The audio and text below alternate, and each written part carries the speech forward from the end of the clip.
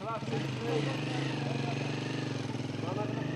my team are doing in particular, we're uh, an OMLT working alongside the Afghan National Army. There's nine of us in the team, 10 including the TERP, and we're attached to a, a, an Afghan um, company. Hopefully we can learn a bit from them, they can learn a bit from us, and, uh, and, and, generally act as a liaison between the Afghan National Army and, uh, and allied forces who are, who are on the ground. Go! Reference nearest pile of corn! Range 100! Range 100! Nearest pile of corn!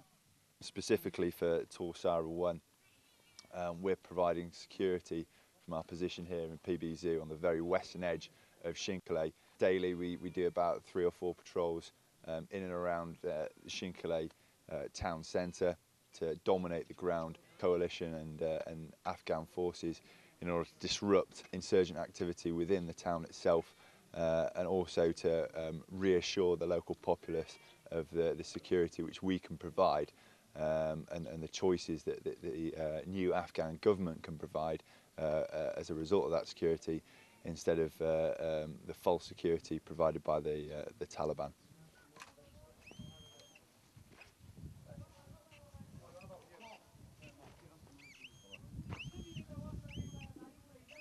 Well, to be honest, it's quite an intimidating situation to be the front man. However, like a trained soldier, you know what to expect, and I'm trained for it. That's why I'm out here.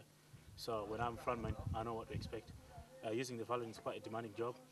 Bear in mind, you're leading the patrol. Also, you got to look out on the ground for IEDs or mines and things like that. So it's quite demanding. Most of the time, you spend most of your time looking on the ground.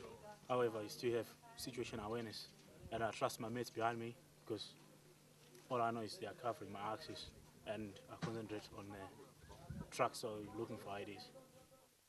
At first, before we actually uh, knew the town itself, um, it was actually quite intimidating. We tried to stay to the main tracks, not wanting to get lost down the alleyways where we'd be vulnerable. However, as our confidence has grown in the town itself, including the confidence uh, generated by the warm welcome we received from the local populace, they've given us information about where IEDs are.